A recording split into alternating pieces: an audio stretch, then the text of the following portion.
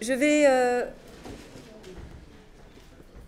introduire en quelques mots Sébastien Mullier, euh, qui euh, nous fait le plaisir d'avoir accepté de, finir cette, cette, ces, deux journées d'études euh, en euh, venant nous parler euh, des liens de, notamment entre littérature et art plastique chez, Gauguin, puisque c'est un sujet de prédilection pour Sébastien Mullier, dont les recherches se concentrent notamment sur la, vision, sur les rapports donc, entre littérature et art plastique à la fin du, du 19e siècle.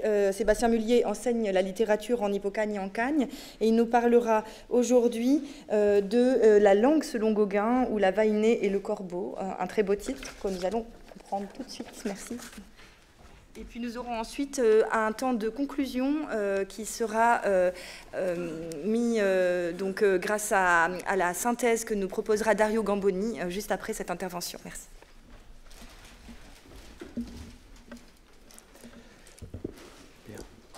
J'aimerais tout d'abord remercier les commissaires euh, de leur invitation, et notamment euh, je vais saluer leur caractère franco-américain, vous allez le comprendre euh, très vite. Je remercie aussi Scarlett Reliquet de son invitation et de son accueil. avant de commencer, j'avais essayé de comprendre pourquoi à chaque fois que je parlais de Gauguin à quelqu'un, la personne qui était face à moi entrait en transe. Donc ce que j'aimerais identifier, c'est ce que je pourrais appeler l'effet Gauguin.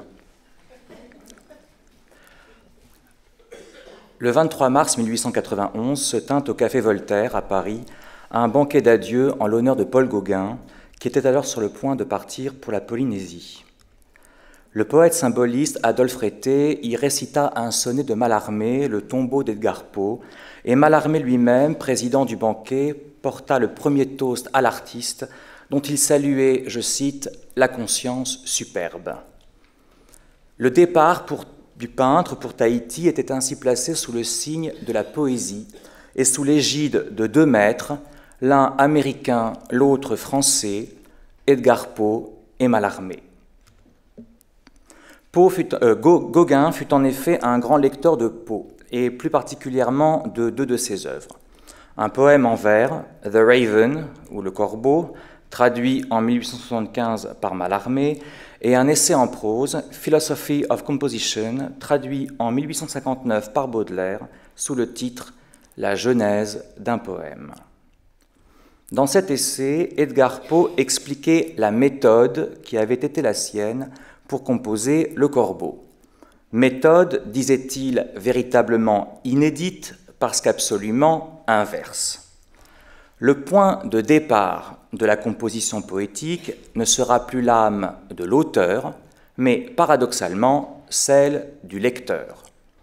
Avant d'écrire ses premiers vers, un poète doit d'abord déterminer quel effet il, produira ultimement sur l'esprit de ses lecteurs.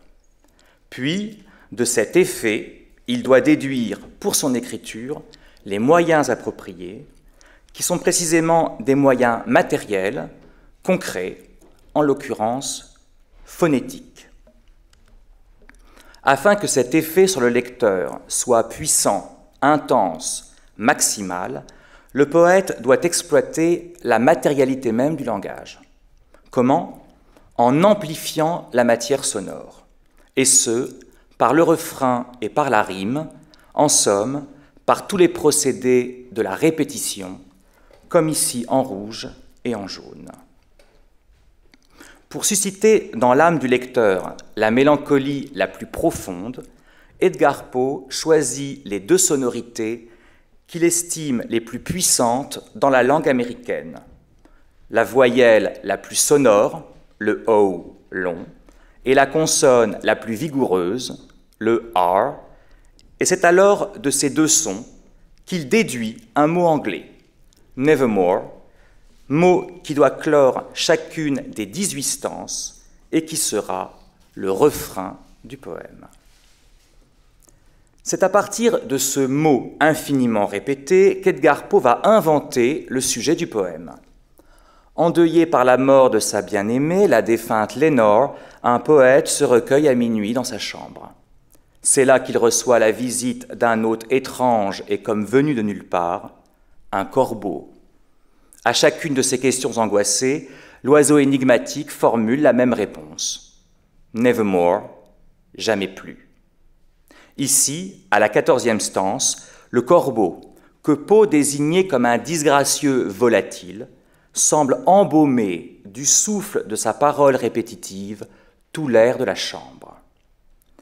Le poète établit une analogie entre deux créatures ailées, un ange à l'encensoir et le corbeau, et à travers eux une correspondance entre deux éléments qui ont pour propriété commune d'être immatériels et aériens, volatiles. L'encens et le timbre, le parfum et le son, la senteur et le refrain, l'air de la chambre et l'air de la chanson. Se profile alors l'idée d'une synesthésie entre l'odorat et l'ouïe. Selon Edgar Poe, la sonorité doit produire sur l'âme du lecteur un effet aussi intense que celui dont est capable le parfum. Nevermore est le refrain du poème.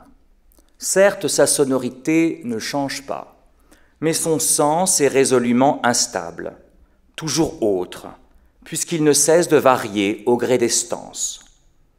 Le mot est en effet employé tantôt comme un croassement inarticulé, tantôt comme un adverbe, selon l'usage ordinaire de l'américain, tantôt comme un nom propre, selon un usage nouveau et singulier, il est alors le nom même du corbeau. Poe a voulu faire de ce terme anglais un mot, dit-il, de peu de sens, un mot vague, un mot étrange.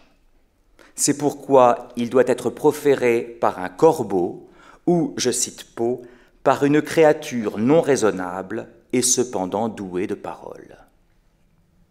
En faisant que sa propre langue soit parlée par un animal, le poète est parvenu à faire de l'anglais une langue étrange, incompréhensible, mystérieuse, une véritable langue étrangère. Nevermore est un mot dont le sens est indéfini et partant infini. Ainsi, dans son sonnet Le tombeau d'Edgar Poe, Mallarmé décrète-t-il que le poète est celui qui sait, je cite, donner un sens plus pur mots de la tribu. Gauguin est hanté par cette méthode qu'Edgar Poe avait inventée et à laquelle il se réfère ça et là. Dans sa lettre à Émile Bernard de novembre 1888, dans son cahier pour Aline, où laissait la genèse d'un tableau empreinte à la genèse d'un poème, et dans deux hommages qu'il rend aux illustrations que Manet avait réalisées en 1875 pour la traduction du Corbeau par Mallarmé. C'est en 1891 un portrait gravé de Mallarmé, oiseau perché sur l'épaule, à la manière d'un pirate des mers du Sud, et en 1897, une toile réalisée à Tahiti est baptisée Nevermore. Dans une chambre, le refrain étrange du corbeau n'a plus pour auditeur alangui un poète occidental, mais une vainée océanienne. Or, il est remarquable que Gauguin ait choisi de remplacer le poète par la vainée. En 1893, après son premier séjour en Polynésie, l'artiste commence à écrire un bref récit, Noah Noah, voyage Tahiti, récit initiatique entre autres consacré à son apprentissage linguistique. Gauguin choisit de présenter la Vainée elle-même comme son initiatrice à la langue maori. Ainsi écrit-il au sujet de la jeune Teamana, sa compagne Les étoiles l'intéressent beaucoup. Elle me demande comment on nomme en français l'étoile du matin, celle du soir. À son tour, elle me nomme les étoiles dans sa langue. Faiti, étoile du soir. Taurua, Vénus. C'est véritablement en héritier de Que Gauguin découvre la langue des Tahitiens. Là, après une prière conscieusement dite par un vieillard, en refrain par tout le monde, les chants commençaient. musique étrange, sans instrument. Ce qui retient Gauguin dans cette langue étrangère qu'est le tahitien, c'est à la fois son étrangeté et sa musicalité. Plus exactement, c'est une langue d'autant plus musicale qu'elle est étrangère, c'est-à-dire peu intelligible. Le son l'emporte alors sur le sens. Dans Noa Noa, l'artiste aime à reproduire puis traduire quelques termes maoris. Toe toe, me dit-il, c'est froid. Vivement, elle plongea en criant ce mot. Tae hae, féroce. Ces deux termes révéleraient les propriétés sonores qui intéressent Gauguin dans la langue tahitienne. Propriétés toutes matérielles qui caractérisent les titres inscrits à l'intérieur même de ces tableaux polynésiens. Ainsi, l'idiome maori se distingue-t-il avant tout par sa musicalité. C'est une langue vocalique, caractérisée par la prédominance des voyelles, elles-mêmes si sonores, et par la fréquence du hiatus. Fa ara, fa ihehe, aha oefei, e e et haere oehihia. Mais c'est aussi et surtout une langue répétitive, où le mot semble souvent contenir son propre refrain. Première structure, c'est le redoublement d'une syllabe à la fin d'un mot. Fatata te maua, tamatete, te poi are area. Seconde structure, c'est le mot composé par redoublement. Rupe rupe, luxuriant. Mona mona, savoureux. Nave nave, délicieux. Ce dernier mot composé obsède véritablement Gauguin, qu'il emploie de 1892 à 1898 dans le titre en majuscule de quatre tableaux. Nave nave mahana, nave nave moe, te nave nave fenua, te pape nave nave. Le maori est une langue qui répondrait au principe de ce que l'on appelle le charme, entendu en son sens étymologique du latin carmen. Il s'agit alors d'une parole répétitive, à la fois poétique et magique, musicale et incantatoire.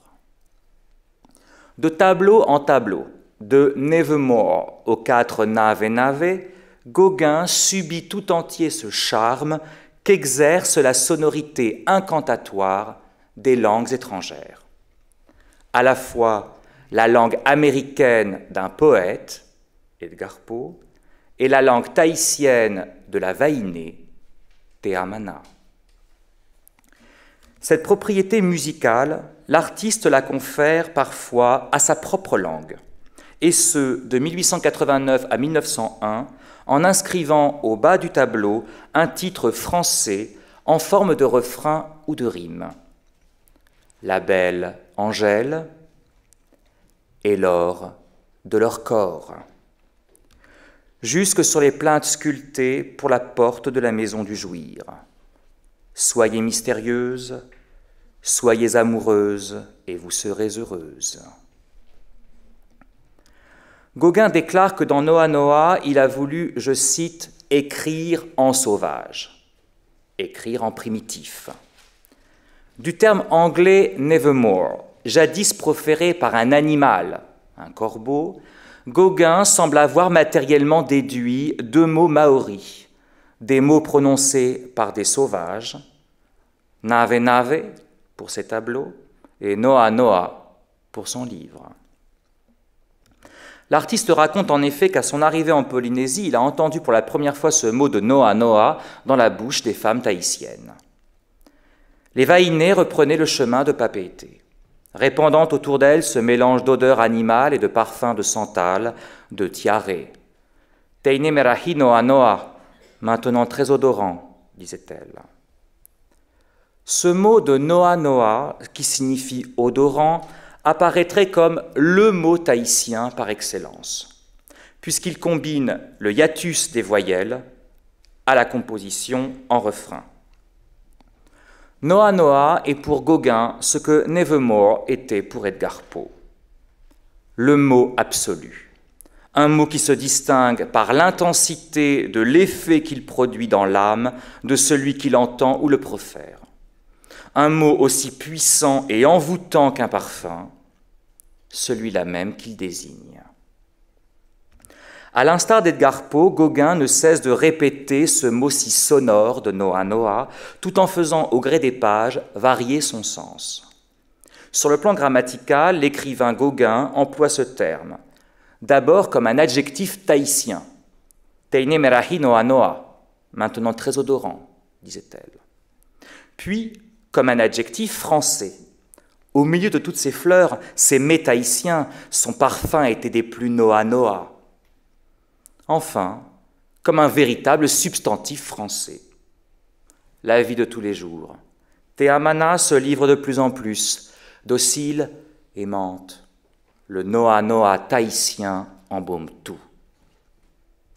Employé ici en français comme nom commun, le terme Noa Noa semble désigner moins une qualité sensorielle, un parfum, qu'un effet mental, une sorte de charme.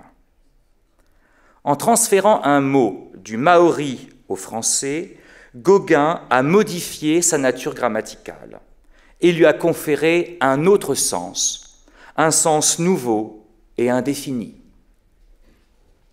Ainsi est-il devenu poète à la manière d'Edgar Poe? Selon la formule de Mallarmé, il est celui qui a su donner un sens plus pur aux mots de la tribu la tribu primitive. Dans une interview de 1895, l'artiste explique en ces termes le titre de son livre. Noa Noa, ce qui veut dire en tahitien odorant, ce sera ce qu'exhale Tahiti. L'art de Gauguin ne représente pas Tahiti, mais, bien ce qu'exhale Tahiti. Il représente non pas la matière, mais le parfum qui se dégage de cette matière. Or, dans une aquarelle de Noah Noah, l'artiste a inscrit au-dessus d'une corolle de lotus cette formule française qui désigne la langue tahitienne elle-même. Je cite ce langage, ce langage d'enfant. Ainsi, de la fleur même s'élève le langage, qu'il s'agisse de la parole tahitienne ou de l'écriture française, comme si la langue était elle-même une exhalaison, un parfum. La bouche est l'organe commun à deux exhalaisons, la voix et l'haleine, la langue et le parfum. Cette bouche est celle-là même de la vainée. Ainsi, dans son hommage à Gauguin, Ségalen écrit-il la femme maori donne en présent à son maître deux tribus incomparables le grain de sa peau, son haleine. L'haleine. Nourrie de fruits mûrs, la maori s'exhale toute proche des éléments qu'elle absorba. Mais ceci qui ne peut être peint n'a que faire en cet hommage à la seule peinture. Le reste est œuvre d'amant. Ségalen, dirions-nous, n'a peut-être pas compris quelle pouvait être l'ambition de Gauguin. Peindre précisément ce qui ne peut être peint. Peindre l'invisible, peindre l'haleine et le parfum, ce qu'exhale Tahiti. Il lui faut peindre l'effet si intense que Tahiti produit sur son âme, cet effet qu'il appelle le Noa Noa de toute cette jeunesse, de cette parfaite harmonie avec la nature qui nous entourait, il se dégageait une beauté, un parfum, Noa Noa, qui enchantait mon âme d'artiste. Le parfum exerce donc sur l'âme de Gauguin un effet proprement esthétique, effet qu'il a appelé le Noa Noa. Pour produire à son tour cet effet sur l'âme du spectateur, Gauguin a inventé en Polynésie un art suggestif et que nous désignerions comme un art de l'exhalaison. Par quel procédé? Premièrement, il s'agit de représenter ce qui embaume. C'est d'abord le choix d'un sujet, la vainée.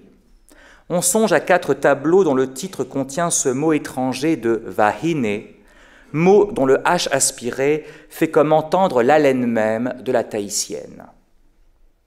Gauguin a choisi de peindre la peau de la femme dans Vahine no Temiti, nue que l'on rapprocherait de ces lignes de Noah Noah. Ainsi, nue, elle semblait recouverte du vêtement de pureté jaune orangé, le manteau jaune de Bixou, belle fleur dorée dont le Noah Noah tahitien embaumé et que j'adorais comme artiste et comme homme.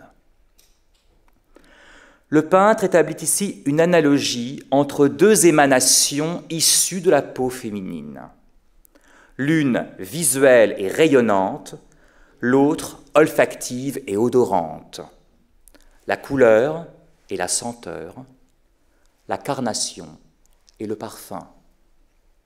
La peinture repose alors sur le principe d'une synesthésie entre la vue et l'odorat. Puis la femme à la fleur dans Vahine no Tetiare, portrait dont Gauguin commente en ces termes le modèle. Pour bien m'initier à ce caractère d'un visage tahitien, à tout ce charme d'un sourire maori, je désirais depuis longtemps faire un portrait d'une voisine de vraie race tahitienne. Elle sentait bon, elle était parée. Tous ses traits avaient une harmonie raphaélique dans la, rencontre des, courbes, la bouche modelée par un sculpteur parlant toutes les langues du langage et du baiser. Portrait de femme, Vahine no Tetiare.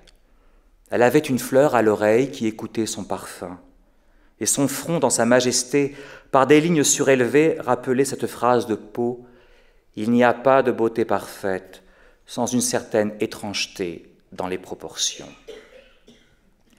Sous l'égide d'Edgar Poe, Gauguin a établi des analogies entre l'odorat et l'ouïe, entre le parfum et la parole. Plus exactement, la fleur de tiaré et la bouche de la vainée exhalent toutes deux et parlent la même langue. Langue qui est précisément la langue que parle le tableau lui-même, le titre inscrit en langue étrangère sur fond jaune, Vahine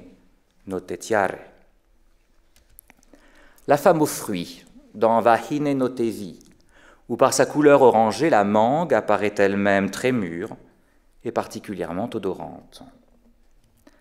Enfin, la femme à l'éventail dans Te Ari Vahine, où l'accessoire permet autant de rafraîchir la tahitienne que de propager dans l'air son parfum. L'artiste fait aussi le choix de deux genres picturaux.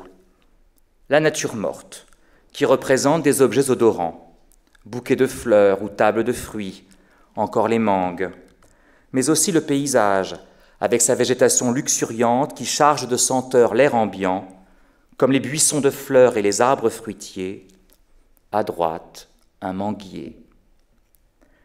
Deuxièmement, il s'agit de produire des objets qui contribuent à embaumer. C'est la pratique des arts décoratifs. Peindre des éventails. Gauguin aime à adapter ses tableaux au format moindre et semi-circulaire de l'éventail. Ainsi, assignerait-il à l'art même de la peinture la fonction de produire de l'air et de diffuser le parfum de la propriétaire qui s'évente.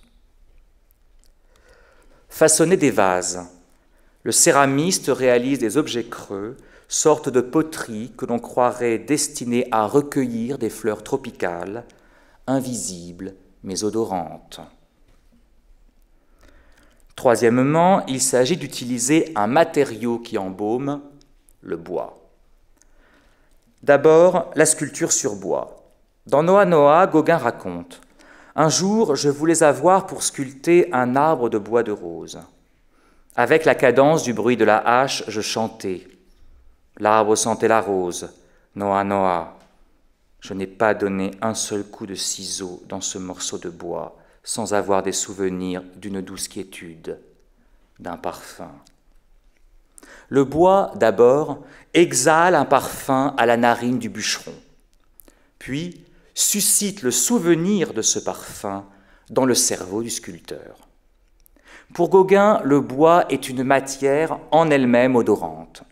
Ainsi, dans un morceau d'arbre tropical, le poids sculpte-t-il le masque d'une vainée Visage en forme de corolle, visage prêt à embaumer tout entier avec ses deux fleurs à l'oreille et sa large bouche sur le point d'exhaler.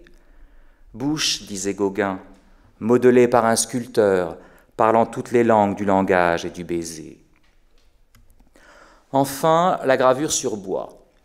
L'art de l'empreinte permettrait au bois gravé de transférer au papier si mince son parfum initial, et ce, par la communication d'un fluide, l'encre. L'impression agit par imprégnation. La gravure finale donne à voir non pas le corps de la vainée, mais sa présence tout immatérielle et spectrale, une sorte d'effluve ou d'essence, un esprit, ou dirions-nous son âme odorante. À tous ces procédés visuels, Gauguin associe souvent à l'intérieur même de l'image la présence d'un titre. Titre écrit dans la langue même de la vainée. Cinq toiles polynésiennes présentent une inscription sous forme de question.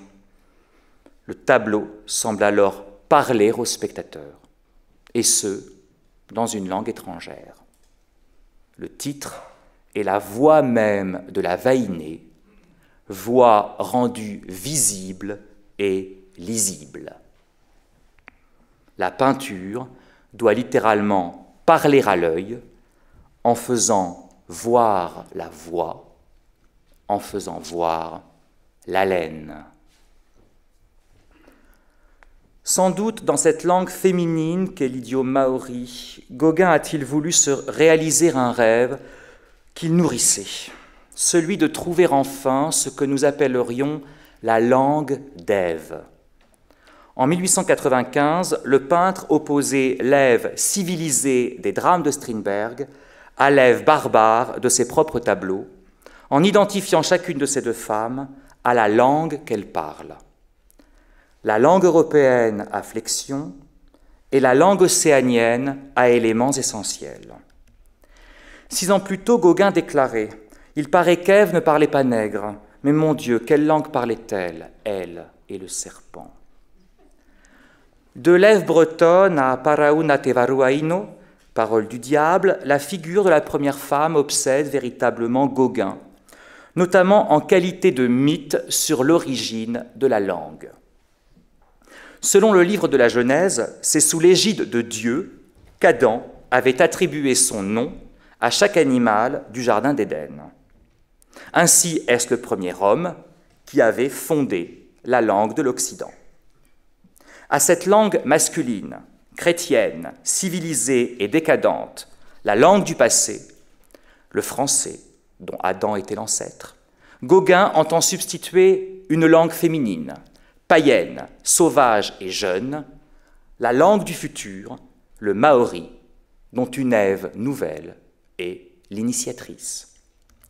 Qu'il l'appelle Ève comme les chrétiens ou Vairumati comme les Tahitiens, le peintre voit dans la figure de la première femme de l'humanité un mythe sur l'origine même des noms. Vairumati Teioa, son nom est Vairumati. Le Gauguin des années 1890 inaugure véritablement une ère nouvelle dans l'histoire des arts et des langues, qui coïncide avec une histoire des religions. Ainsi, au Jardin d'Éden avec Ève, la pomme et le serpent, a succédé la nature de Tahiti avec Vairumati, la mangue et le lézard.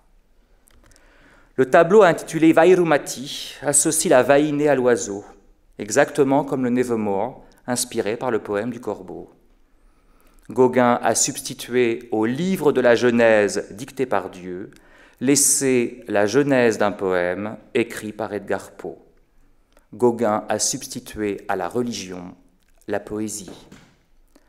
Dans le coin inférieur gauche de deux tableaux, le peintre a placé un animal dont il révèle la signification. Je cite Un étrange oiseau blanc tenant en sa patte un lézard représente l'inutilité des vaines paroles. Le lézard serait un avatar du serpent à la parole traîtresse. et symboliserait la langue occidentale et chrétienne, la langue du bien et du mal, désormais inutile. Alors que l'oiseau, avatar blanc et heureux du corbeau de Nevermore, serait l'allégorie d'une langue triomphante et nouvelle, la langue du jouir, celle-là même que parle la vainée, la langue des tableaux, des gravures et des sculptures. Gauguin a remplacé le verbe de Yahvé, ce souffle divin qui avait créé le monde et la langue, par l'haleine qu'exhale la femme, ce souffle humain et parfumé qui doit engendrer une ère nouvelle, fonder une langue nouvelle pour un monde nouveau. Le Dieu qui a fait l'homme cède à présent la place à celui que Noah Noah appelle l'homme qui fait des hommes, l'artiste. Nous sommes ici sur le seuil d'un nouvel âge, seuil historique que matérialise la porte elle-même écrite de la maison du jouir. Une porte qui parle non plus la langue de l'homme, Adam, et du Créateur, Yahvé, mais la langue des femmes, les vaïnés, et d'un Créateur, un démiurge, Gauguin. Je vous remercie.